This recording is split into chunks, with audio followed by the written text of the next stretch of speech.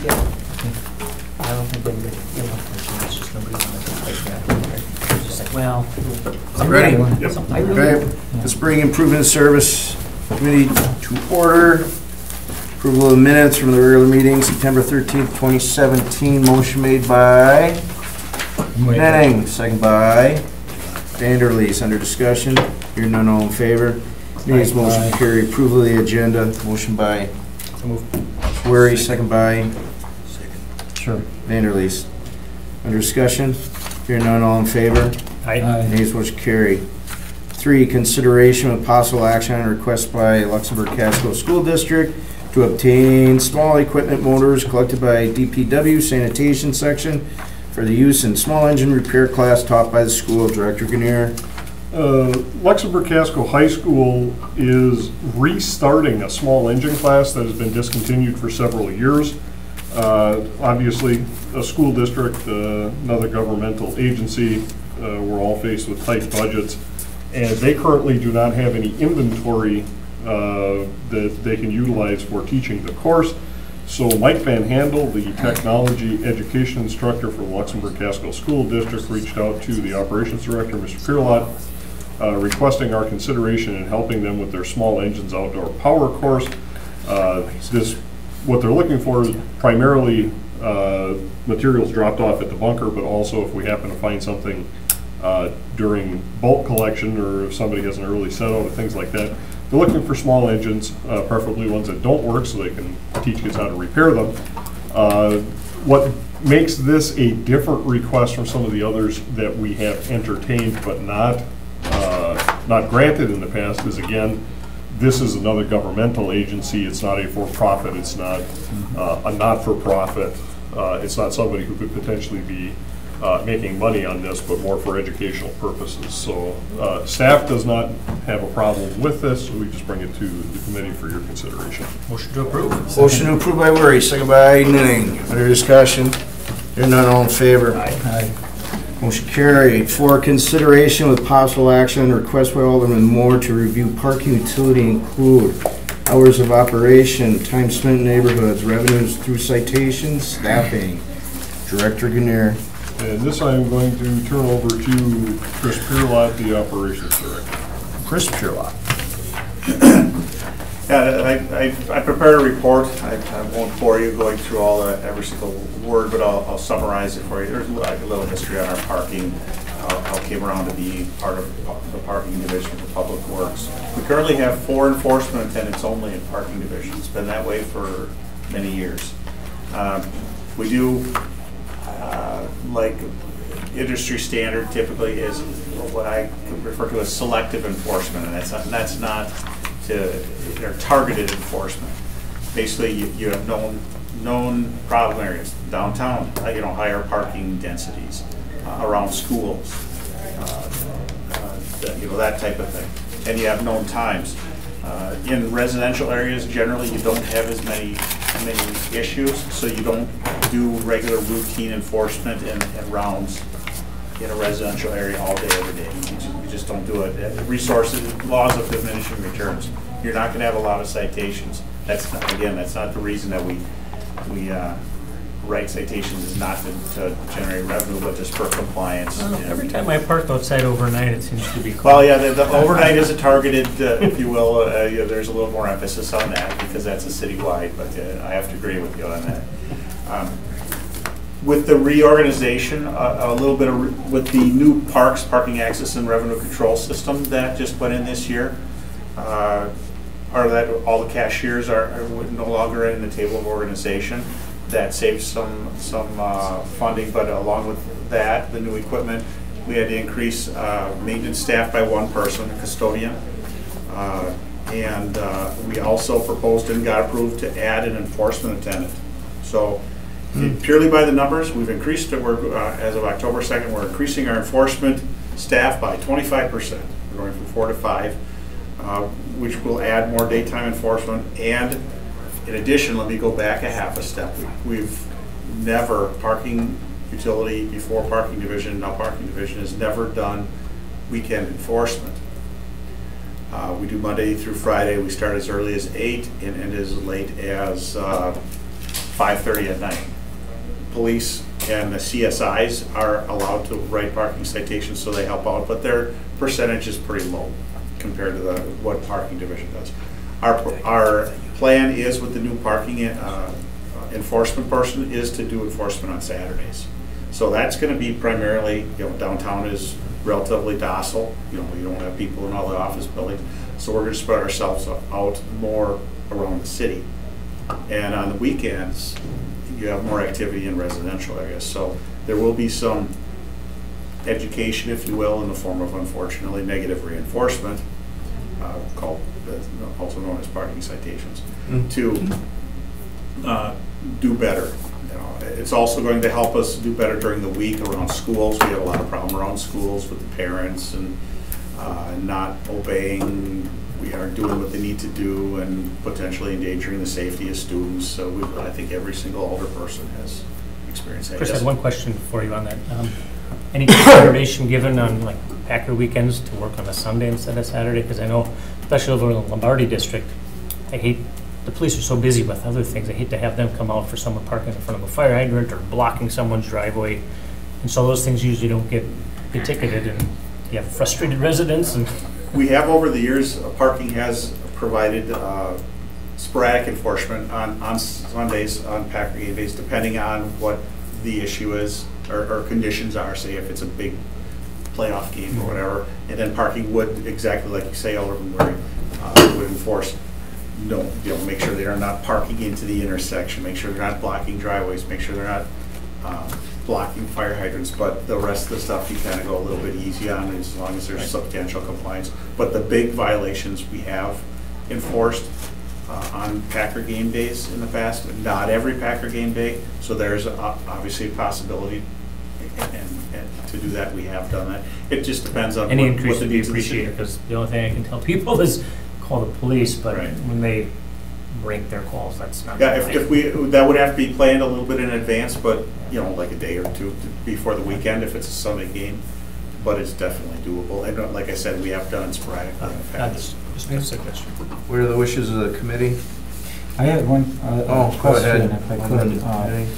uh, I, I get calls from time to time from people who complain about the, have- having to make, pay the late payment fee. Uh, What length of time do you allow people? And and the, the argument people make uh, is that, uh, well, I- you know, it wasn't enough time to get it in, and, you know, uh, if I mail it in, or, you know, what, what are the, what are the procedures? The late payment policy, and it's actually written into the uh, ordinance also because there are fees that need to be established and adopted, has been, it's, it's written five days. That's five work days, five business days, so it's seven, it's a week.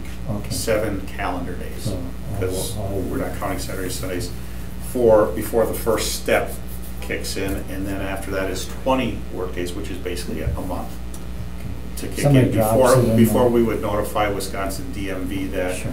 these are outstanding parking citations, because then that can go to uh, registration suspension on your car. Yeah, if somebody drops it in the mail, do you have to receive it by? No, it has to be postmarked. Yeah, by postmark, okay, thank you. So actually, you know, they could put it in on the last day and by, uh, no offense to USPS, we call, we fondly call it snail mail. Comes two days later, it's nine days, it was postmarked by the seventh day. Okay, I was wondering how you handle. Question, Steve, did uh, Joe Moore get a hold of you see what he's looking for? I contacted, Or or contacted Chris? Alderman Moore directly, and we spoke about it. Uh, He, the, what, what the genesis of this uh, request was, he had a couple residents, similar to uh, other districts, about uh, concern that, do we have enough parking in, uh, enough parking enforcement in residential areas? Should there be consideration for others, or change in the program?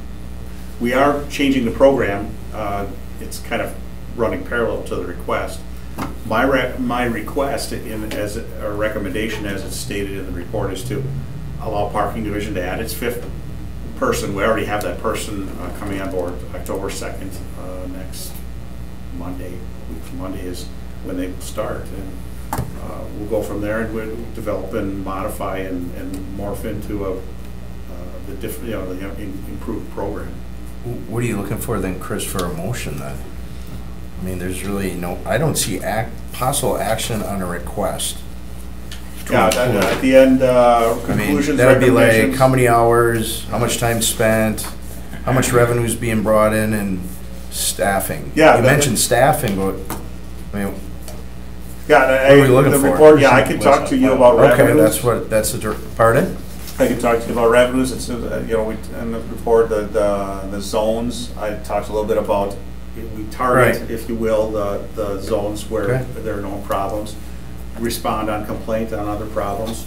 We're adding the fifth person to, Okay. to do better throughout the citywide.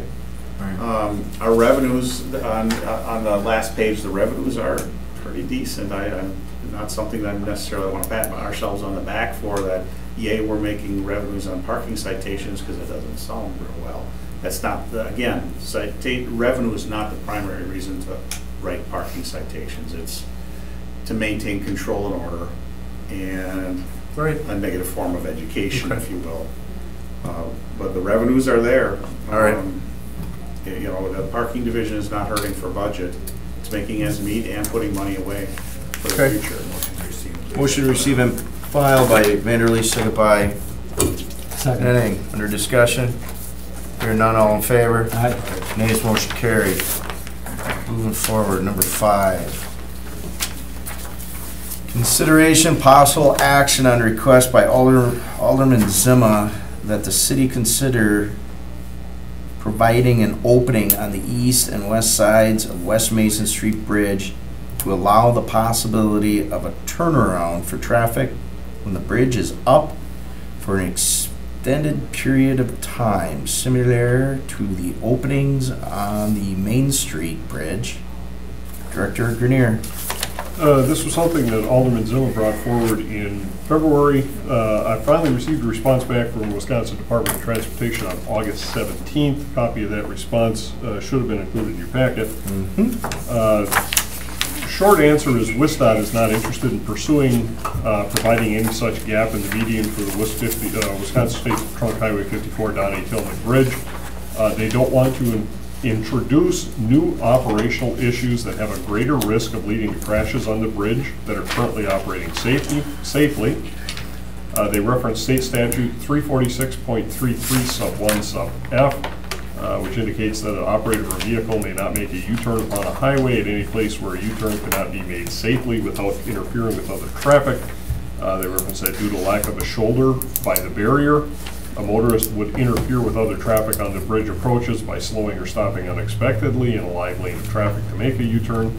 Uh, The motorist could decide to make a U-turn at any time of the day, even when the bridge is open to normal traffic, causing a conflict with uh, traffic that's at 35 miles an hour or more. Uh, Due to the cross-section of the bridge approaches, a U-turning vehicle will unlike, be unlikely to end up in the nearest opposing lane to traf, traffic, resulting in multiple lanes of traffic being backed up in both directions. It's impossible to locate a median barrier gap that's in the right place for every motorist. So uh, what Alderman Zima is requesting, let's just take a look at the westbound movement. So as you get past Webster Avenue, the last opportunity to get off of that bridge is to get down onto Monroe. So once you miss that exit ramp, all the way up to where the bridge opens, that gets stacked up, causing delay. Where do you locate that break in the median? And what happens if the person who feels inconvenienced and wants to make a U-turn is in the outside lane? How do they cross that traffic and get to the gap? That's what he's saying, is it's impossible to locate it at the proper location. Uh, and that there's no guarantee that the motorist right next to the gap will choose to make a U-turn, U-turn, thereby enabling the next motorist to do so, and so on down the line. I did indicate that if the city is interested in pursuing this further, the concept could be suggested and evaluated during study of the next bridge improvement, and they anticipate the next bridge improvement to either be a redeck or a superstructure replacement, and that is about 10 to 12 years out. Superstructure. Okay. Questions, concerns? If not, I'll entertain a motion. Move to receive and place on file. Motion to receive and place on file by Nenning, second by Second. Flurry. Under discussion? Hearing none, all in favor? Aye. Nays, motion carried. Seven, consideration with possible action. No, number six, consideration with possible action on request with Department of Public Works to amend the state municipal agreement with the Wisconsin Department of Transportation for the reconstruction of Webster University to Radisson. Director Grenier. Anytime that we enter, anytime that we receive federal or state funding for uh, a highway project, uh, we have to enter into an agreement, a state municipal agreement with the Wisconsin DOT. And periodically, after we enter that agreement, there are additional modifications that come up. In this case, uh, there were two project IDs added on page two of seven of the SMA.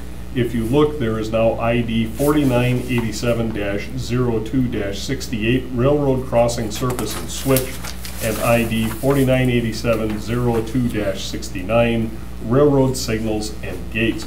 That is for the crossing of Webster Avenue at Eastman. There's a rail crossing there. Uh, It was anticipated all along that this crossing was going to have to be dealt with, but they didn't have any estimates of what that might cost at the time, so it wasn't included in the SMA. They're now adding it in, uh, just so that it's covered under the agreement. It has always been anticipated uh, that the lion's share of those costs would be city costs. So uh, for the railroad crossing surface, um, Wisconsin Central is anticipated to pay about thirty-five percent of that, with the balance being city costs. Uh, And the railroad signals and gates are going to be a 50-50 split between uh, the feds and the city, with Wisconsin Central not paying anything. Again, this project is capped at a four point nine one uh, million dollar funding, uh, so any additional costs would be city responsibilities. That was always anticipated as part of the project. So this really is procedural, adding the railroad stuff into the contract. There going to be any problem getting the uh, 66.5 from Wisconsin Central? No, what happens with these rail issues, um, we'll actually be meeting with Wisconsin Central in advance uh, of, of a hearing, but this winds up going in front of the Office of Commissioner of Railroads. Uh, It's always better if we meet with the rail company before we go to an RC, OCR hearing and come to consensus with them because then we go to the OCR hearing with a plan that both parties agree to. The OCR enters that as an official decision. It's actually a legally binding requirement uh, that's imposed on both parties. Okay. I did have a question. Mr. Chairman. Go ahead. Thanks. Steve, uh, my math wrong or 35% of 505,000 it's not 66,000. Is it supposed to be 15% or should that number be bigger? Hmm. Or am I looking? Yeah, you're right. Should be closer to one hundred sixty-seven thousand, Or is it 15%? If you look at the cat, uh, there's an asterisk there. There's always an asterisk. That's why. the asterisk, when you go down to the bottom, of the table, it says total federal funding is capped at four point nine one million. So with other commitments within the project already, it normally would be a 65-35 split, but it's thirty-five percent and then it's sixty-five percent plus the balance. So because we're already capped out at 49, 4.91 million, we have to absorb a larger portion. I could add money into the railroad, cro- but then they take it away from the participating construction because we're capped at ah, 4.9. So, either here or there, Yep, only have it's- to pay so much. Exactly. The, Okay. the, the federal participation's capped at 4.9. And, and again, when we entered into the original SMA in 2014, 2015, we knew that going in. That's always been the, the understanding, so. Entertain a motion to receive and place on file. Is that what you're looking for, or Actually, we'll be looking for a motion to approve and authorize the director to execute the amendment. Okay. Motion by Wery to approve and have the director execute the agreement. Second by Second. Nenning, under discussion. Hearing none, all in favor? Aye. Ayes, motion carried. Seven, consideration, possible action on request be by the Department of Public Works on proposed 2018 parking division rates and fees report. Uh, Director Grenier? I actually will Chris have, Pirlot. uh, Mr. Pirlot, take this one as well. Okay, As you all recall, at our uh, last Improvement Services Committee meeting, uh, we proposed a rate uh, structure for 2018 for for parking division. The only uh, change we requested was to go uh, parking meters hourly rate from 75 to 80 cents an hour. And then there was some discussion about, uh, uh, is that enough for, for revenues? Uh, I did some sensitivity analysis and some spreadsheets, all that fun stuff that parking managers do. Um, I drafted a, a little report here. Basically, just to start out on a, on the second page, uh, uh, for each one percent rental rate increase, and we've typically gone no more than two percent in any one year, that will increase the revenue by a little over fifteen thousand dollars. It's not a lot. Um, And then for each one dollar citation rate increase, and I broke it down by citations, um, it's generally anywhere from a hundred dollar parking citation, is increase of one dollar, anywhere from a three dollar uh, budget increase up to a almost fifteen thousand dollar budget increase. And for each nickel that we'd increase our meter rates at, that's a little over eighteen thousand dollars of, of revenue. Now, that's just information. But look, taking a look at, um, when we go through our, our annual uh, budget for parking, we don't look at revenues first. We look at what do we need to operate the parking? And that includes putting money away for the future in, in a capital reserve account, because we have to buy vehicles and equipment down into the future. I have a vehicle and equipment uh, replacement plan built out, you know, a- rubbing the crystal ball, of course, out to like 2040. So I- I'm thinking, we're thinking ahead quite a, quite a ways, and, and it, putting in cost of living adjustments for potential future expenses. So it's, it's all taken into account. In addition, we got new PARCS equipment, which uh, we typically uh, spend twenty-five, thirty thousand dollars a year on a maintenance uh, program for, for our PARCS equipment. It's under warranty. We're saving that money in the, this first year. We, uh, we reduced our staffing, our custodial, cashier staffing, we added a couple more, but that reduces our operating budget by another hundred sixty-two thousand for two thousand eighteen. We, um, included some, built up some efficiencies in, um, uh, maintenance and repair costs, uh, like I mentioned, uh, material and supply needs are down for next year, and we, we budget, you know, we don't budget real close, tight to the budget. you, you build a little bit in, but not a lot, I don't like to build fluff into budgets. But knowing that, we're, we're still, the 2018 budget, when we came into the last meeting, was still uh, putting, uh, proposing to put in, number here, it was 400 and, 468,000, almost $469,000 into the capital reserve account, just in 2018. Now, for reference, in my 27 years as being parking manager, we've had years where we only put in $69,000. We've, and this 468, uh, that might be the highest we've ever put in.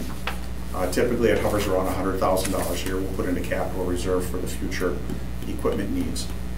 So the 2018 budget, you know, we're trying to, yeah, obviously, we're not loo- looking to, to to be raising rates for the sake of raising rates. We're looking at, we're looking into the future, and we're looking at um, what do we need now, what do we need for the future, plus what's palatable for, in the parking industry and for our parking patrons. And I believe that what we proposed is, is a good budget for 18. It's one of the best budgets I've seen in a long time, especially in our financial times. Uh, However, having taken a look at this, um, I was conservative when I recommended we go up a nickel only, because sometimes raising rates has been pretty contentious in the past uh, for various reasons. To go a- a nickel an hour increase in the parking meters. Typically, you want about 10 cents an hour or possibly more, because you want to encourage people not to park in front of the front door of that business unless they really need to be there. If you're going to park all day, the idea is to park in a ramp, and we offer first hour free in a ramp, plus it's a, it's a lower rate per hour in a ramp. So with that, after doing this analysis and review, my only recommendation, change from our last meeting, is to make no, uh, do no rate changes for 2018, except for parking meter rate increases. But I, I'm, I'm recommending instead of five cents an hour increase, a 10 cent an hour increase. Now, that'll raise the revenue another $18,100 approximately. So now we're pushing close to a half a million dollars in capital reserve. It's a very good budget. And we're looking at the future, uh, we're being good to patrons by you know, one year of pretty docile rate increases, but parking division is not hurting for budget at this time. And, and I, I believe it's very sound, and, you know, it balances the future with the present. Any questions or concerns? If not, I'll entertain a motion. So, so are we going, Alderman Nenning. are we going to eighty-five, Stroll? Yes, that is a, yeah, I, I, there's a typo in there, I, I, seventy-five to eighty-five, but, but the recommendation is to increase it to ten cents and go from seventy-five cents an hour at the meter to eighty-five cents an hour at the meter. Okay, thank you. But that would be the only rate increase for two thousand eighteen. Okay. Any concerns or questions? If not, entertain a motion. Motion to approve. Motion to approve by Vanderleest, second by Second. Wery. Under s- discussion? Hearing none, all in favor? Aye. Nays, motion carried. Eight. Consideration with possible action on a report by the purchasing manager. Request approval to purchase 17 digital mobile radios from Nielsen Communications Incorporated for $11,628. This is essentially a request to piggyback off of a bid that we did in 2014. Um, uh, We went out for bids on uh, radios. The award was made for Hytera radios through Nielsen Communication. Um, And that bid included um, communications infrastructure. That's correct. Okay, Uh, these additional radios uh, will work off of that same infrastructure system, so uh, we're we're requesting kind of a sole source on the Hytera equipment uh, for this expansion of the radios for parking. Are they replacement radios, Randy, or? They are replacing some VHF old radios, yes, but they are for uh, DPW operations. Randy Freeling is our communications specialist. Uh, Randy's been working on a plan with me over the past two to three years uh, to sequentially upgrade and, and phase out the old VHF uh, radio system to go to a digital mobile radio system uh, for a variety of reasons. Interoperability with other departments, uh, more reliable communications, and better coverage across the entire city. And when it comes to radio system designs, uh, Randy helped design the system that ET used to phone home, so I trust him with, I trust his recommendations. Motion to approve. Motion to approve by Vanderleest, second by Wery. Under discussion? Hearing none, all in favor? Aye. Nays, motion carried. Nine. Consideration, possible action on request by the YMCA for a permanent limited easement within an alley at the rear of 235 North Jefferson Street to allow existing mechanical room to remain under alley pavement. Director Grenier. During a utility system upgrade project that's going on throughout the downtown this summer, it has been discovered that uh, there's a graphic in your, in your packet that shows the alley between the, uh, the YMCA and, uh, and the building to the west of it. And there's a red crosshatched area shown on that graphic. Uh, What was discovered this summer was uh, during some potholing through the concrete of the alley uh, in that crosshatch section, it turned out that wasn't a concrete alley. That was actually the roof of a mechanical room uh, servicing the YMCA. That was an unrecorded um, encroachment into the public alley. Obviously, to ask them to lift the building up in the air and move their basement would be not something that would be uh, acceptable to either parties. Uh, So we did talk with the Y, and the best thing to do is to have them apply for an easement uh, into the alley to allow that encroachment to be there. That way, it's recorded on documents uh, and known to all parties when they come to do work in the alley. So staff does recommend approval of this. Obviously, with the age of the building, that basement and mechanical room has been there for quite some time. Move to approve. Motion to approve by Nenning, second by Vanderleest, under discussion. Hearing none, all in favor? Aye. Nays, motion carried. Ten, consideration of possible action of the following offering price reports. Webster Avenue, University Avenue to Radisson Street project. Should, Steve, should I just read right through these? Yes, Or- please. Okay. Housing Authority of the City of Green Bay, ninety-four thousand. Grunwald Property Management, ninety-three. James Drummond, ninety-three thousand. Reginald and Jean Dockstader, eighty-nine thousand. James and Kathleen twelve thousand. Roger DeLarwell, one hundred and three thousand. Private portfolio, fifty-four thousand. Carol Potasic, seventy-nine thousand. David and Jeanette Klaus, eighty thousand. Richard and Bonnie Detage, I don't know how to pronounce that, ninety-two thousand. Director Grenier, Uh, As part of the Webster Avenue real estate acquisition process, one of the initial portion, or the initial actions that needs to be taken is an offering price report. This is the offer we're making to the property owner. All 11 of these parcels are those, fo- are folks who have come to the city voluntarily asking for early acquisition on, on this property. Uh, So staff does recommend approval of the OPRs. any questions or concerns? If not, entertain a motion. Quick question for Steve. Steve, how many more properties are involved in on this? uh, I believe there's a grand total of 24. 24 total. So we got the first 11, there's uh, 13 remaining. Okay, thank you. Any other questions or concerns? If not, I'll entertain a motion. Motion by Wery, second by Second. Henning. Under discussion? Hearing none, all in favor? Aye. Nays, motion carried. Eleven, Director's Report, Department of Public Works, Steve Grenier. Uh, Got a short report for you tonight. Uh, Getting close on the budget. Hope to have something to report to you soon. Uh, But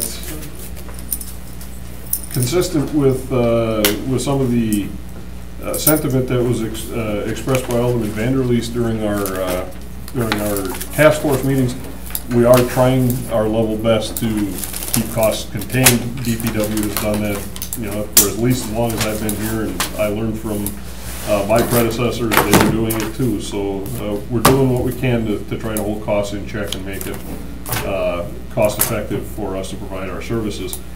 Um, Weather has played havoc with construction this summer.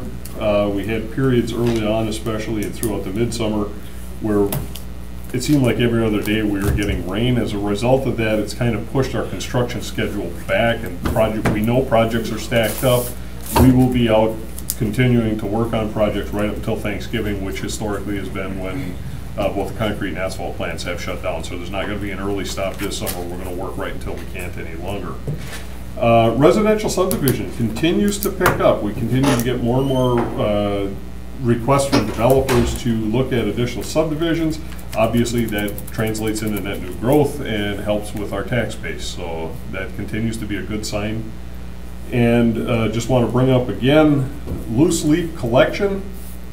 Loose leaf collection begins on October 9th for our first round. That means nobody should have material set out to the curb any earlier than uh, October 2nd.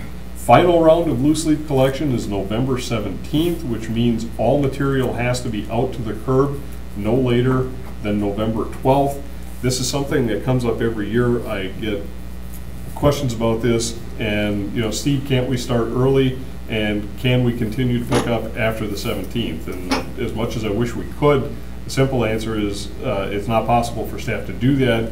Prior to this, I've got, the staff that normally picks up leaves is out doing road maintenance work. So if we want to stop filling potholes and cracks and that kind of stuff, um, you know, that's something we can talk about in the future, but we've made those commitments to get that work done this year. And when it comes to the end of the season, I understand fully. I've got six trees in, in my yard as well. I get it, sometimes the leaves don't fall when you want them to, and those leaves come down after that, that drop dead date in November. But it takes about three weeks, start to finish, for me to convert the fleet over from summer operations to plowing operations. And anytime after November 17th, I'm rolling the dice if I don't have the fleet ready to plow on that day. So, you know, is it something we can talk about for the future? I guess it is, but the, the, the trade-off on that would be if the council makes a decision to extend loose leaf collection in the fall beyond that middle of November date that we've picked, and we wind up getting a snowstorm, then we're gonna have to deal with three or four days that the roads don't get plowed because the fleet's not gonna be converted over. And that's not a gamble I'm willing to take. So that's where we sit with the director's report today. You know, I know a, a lot of, uh, I know the notice said that we, uh, that you should, if you rake your leaves to the curb prior to October second, then you will be charged for an extra pickup. And a lot of people have done that because leaves really fell fast. And it should say you may, Okay. I think, the, the, am I going to go out and pick the leaves up and charge somebody? No. The short, the, the, the real effect of what's gonna happen is they're gonna sit there for two weeks and your grass may die. Sure. I was gonna make a comment because, I mean, it takes, and sometimes, and I've, I've talked to you about this, Chris, it takes time for the city to even pick up brush. Yep. So what the heck, if they put it out before October second, why don't we, you know, just let it sit there, And just like you just said, Steve. To make a good point, we there. will change that notification. You I, know? it, we, It's not we have hurting no anything. desire to go out and charge somebody seventy dollars for putting their leaves out early because I can't get to it anyway. Uh, that's what I was getting at. So, yeah, we'll change that notification to Right. indicate if you place them out early, they're simply gonna sit on your terrace. Right. And we understand that, like, for example, this season, they leave, some of them are, some of the trees are churn, Right. changing early, so Yeah. what if people want to take care of their lawn, so Yeah. th- we know they're gonna rake them up, so we're not gonna punish them for that. No. Perfect. One quick question, and Steve, uh, when you make that notification in the paper, I saw you had one already in the paper. You know, a lot of people put the, the leaves on the street. If you could make a notation in there about not putting the leaves and the debris on the street. Now, that is something entirely different. Putting them in the street is actually, we, we use about two hundred thousand dollars a year comes out of the storm sewer account and gets transferred over to operations, and that money is used for loose leaf and yard waste collection. The reason for that is getting those leaves out of the gutter and not allowing that to get into the storm sewer helps us with our storm sewer permit um, the utility director, Matt Heckenlifel, is currently working with a representative here locally from Wisconsin DNR. DNR is looking at adding a, a credit for our storm sewer permit for loose leaf collection. Currently, we don't get credit for that against our, our permit, but DNR is working on a guidance that will allow us to get that credit. If folks are raking, raking materials, and this goes for loose leaf, it goes for grass and brush collection during the summer, uh, if they're raking that stuff down into the curb line, as opposed to leaving it on the terrace. If they rake it out to the terrace, fine, we're happy with that. But if they're raking it out into the street, they may wind up getting citations for that because that's a violation of our, it's a violation of the ordinance and it's a violation of the ordinance because it's a violation of our permit condition. So, point taken, we will make sure we make that dif- differentiation as well. That, you know, we, I know we've got it in there, but I think we could make it stronger that material could be raked to the curb but cannot be placed in the street, and we'll put it in big, big, big bold letters that because this is a violation of our permit conditions. And maybe that'll help explain Or, it. or some people pile the leaves, you know, real high and the kids are playing and if a car came in, it'd run the people right over. Yeah, and if, as long as that's up on the curb, that's not one a thing, but if they're out in the Yeah, street, that's the you're right, safety issue. How many of you played in leaves in the street when you were kids? Everybody. That's not a good You never thing. did, Steve? We didn't have them out in the street Oh, you because, didn't? no. I know I did, and we're still here. Would you- What is Matt's, um, well, let me talk to you after. Sure. Okay, any other questions?